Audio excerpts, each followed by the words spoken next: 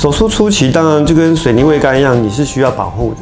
像说是下巴肌肉缝合的，一开始你是需要保护的，哦，不然它会被你自己原身肌肉力量拉回来。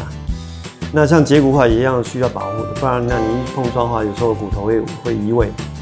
但是到后期其实都一样坚固，没有没有任何的说什么扭一扭转一转就就就跑掉，不会。